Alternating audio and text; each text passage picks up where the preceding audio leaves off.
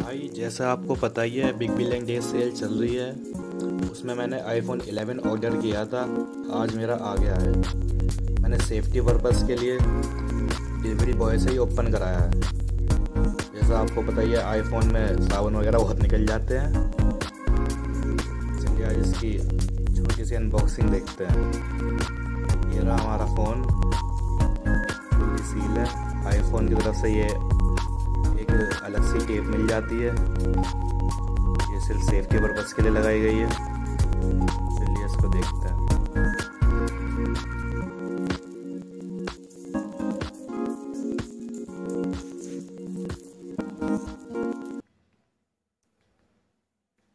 ये हमारी टेप खुल चुकी है।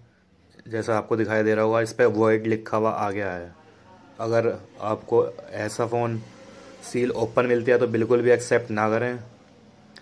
ये रहा हमारा आईफोन ये कुछ फ़ोन इस तरीके से दिखता है। फ़ोन में आपको चार्जर बिल्कुल नहीं मिलेगा। सिर्फ़ लाइट लाइटनिंग केबल मिलती है और कुछ पेपर वर्क है। फ़ोन को बूट कर लेते हैं। ये हमारा फ़ोन ऑन हो चुका है।